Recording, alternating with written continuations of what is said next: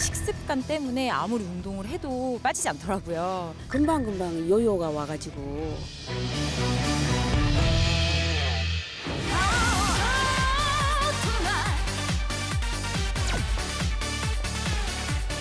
엄마들이 이 뱃살 빼고 이 몸매 관리하는 게 얼마나 힘든지를 알아주실까? 제가 그때 한 75kg까지. 에이. 아, 정말이에요. 칼로리들을 딱, 다 체크해가면서 막 살도 빼보고 온갖 다이어트 정말 많이 해봤는데 결국에는 자기한테 맞는 다이어트법이 있더라고요.